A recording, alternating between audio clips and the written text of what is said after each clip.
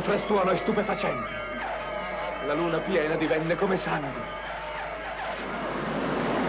Se in noi è racchiusa la memoria dei millenni, possiamo scientificamente ricreare il nostro io primevo.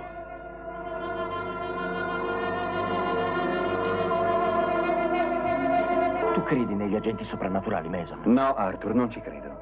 Allora, quello che abbiamo visto stasera è stato un fenomeno fisico. Ma allora, se è stato un fenomeno fisico, deve essere spiegabile e va spiegato.